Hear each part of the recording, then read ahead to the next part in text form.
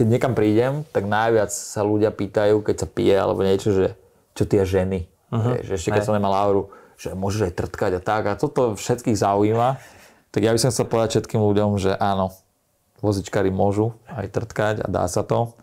Nie je s tým žiadny problém, ale keď sa ma pýtate na babu, ktorú si ja vyberám, že podľa čoho si vyberám babu, tak mňa nezaujíma vôbec tvár. Hej. Mne je úplne jednak vyzerá. Ja prvé, čo pozerám, sú lítka. Keď má lítka jak lášak betóny, ja vtedy viem, že toto je baba, čo má výdrbe hoci kde hore po schodoch. Čo má vytlačiť? Čo má vytlačiť po hociakej plošine? Toto ja potrebujem.